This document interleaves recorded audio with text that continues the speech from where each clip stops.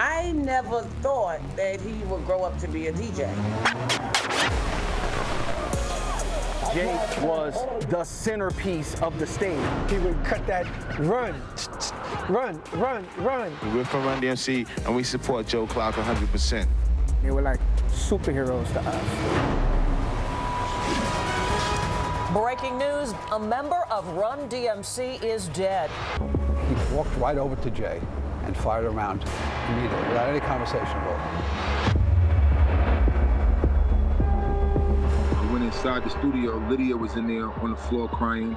Tony Rincon was on the couch, shot, and Jay was on the floor dead. Gripping, mm-hmm. suspense, all of it is what you feel when you watch this award winning documentary. A story that was important, that really needed to be told. That is even more important because of this week, the murder trial of Jam Master Jay gets underway. So, brand new headlines being made. Our Darla Miles knows everything about this. Darla, I don't even know how to start this story. It's so complex. So, where do we start?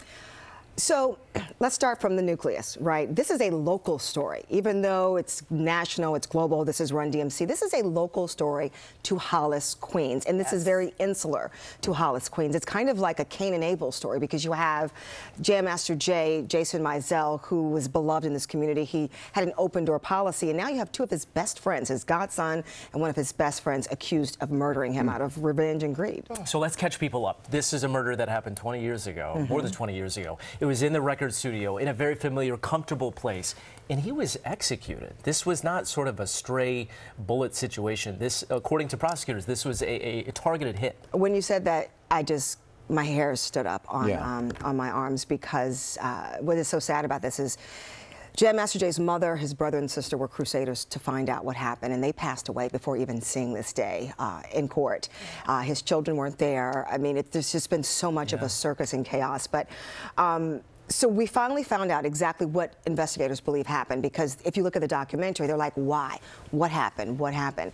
So you have uh, the two suspects, uh, Karl Jordan Jr., accused of being the shooter his godson. You have Tinard Washington, Ronald Tinard Washington.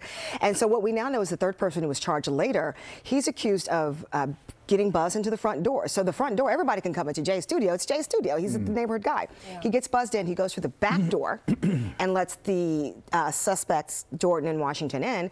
And according to prosecutors, this is what was so sad about it. They say Jordan walked up to Jam Master Jay he greeted him and said hello and shot him in the head. Oh. He knows. I mean, he's known for It's his godson. He's exactly. known since he was a child. Right. And they said he was so close to his head that it the bullet burned the hair in his head.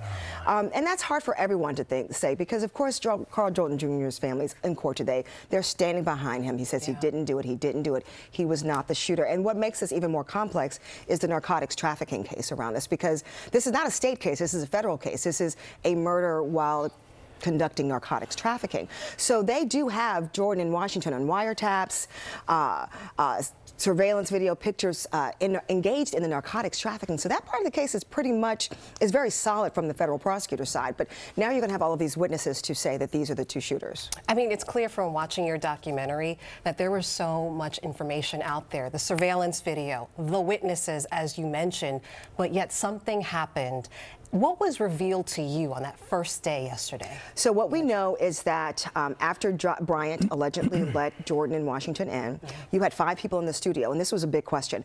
Three of the people were actually inside of the recording booth, so they okay. did not see what happened. Then you have Tony Rincon, he was on the sofa playing video games with Jam Master Jay, uh, and then you have Lydia High, who was the receptionist, and she took a lot of heat to the point where she had to leave town immediately. She buzzed in mm. allegedly, Jay Bryant. Uh, Jordan Washington comes into the back door. The, he shoots. Um, uh, Jordan allegedly shoots Jam Master Jay. Uh, Rincon is accidentally shot in the leg. And then Lydia tries to run, according to prosecutors.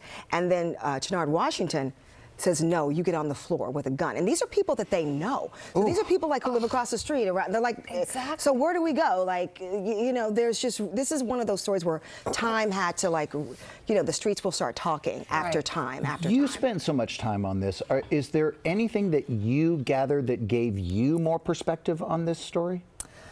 Oh my gosh. Um, I think it's the heartbreak of the Hollis Queens community. Um, yeah it is just so hard to reconcile. I think one thing that was very difficult for people uh, during the time of the murder and even now is to associate someone as as, as legendary as ingenious as Jam Master Jay with, with drug trafficking.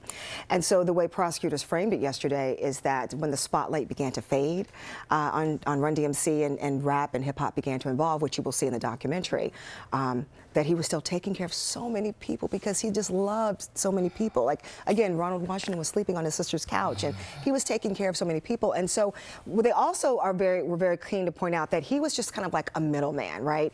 He was just make phone calls, make connections, use his connections to put the dealers together. So, you know, that's what prosecutors allege. So they really have been, I think, very thoughtful and not uh, smearing his image, but just kind of really trying to be re- realistic about what was happening during that time. Do we know how long the trial is expected to last? Oh boy, this is going to last for about four weeks. And again, those witnesses, five, five people who have never said a single word in over 20 years will get on the stand. Oh, wow. That's a big thing. Like they haven't, they didn't talk to police. They didn't talk to friends. Like there were a few people, as you'll see in the documentary, who became their confidants and said, "Oh no, this is who did it," but I'm afraid because Yes. I know all of these players involved.